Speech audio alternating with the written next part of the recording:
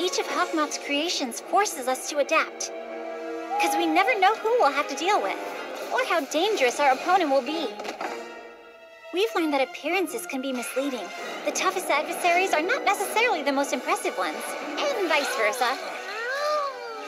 By creating villains to fight for him, Hawkmoth has been hiding in the shadows. He knows that we won't be able to stop him if he doesn't show up in person. But he's made mistakes.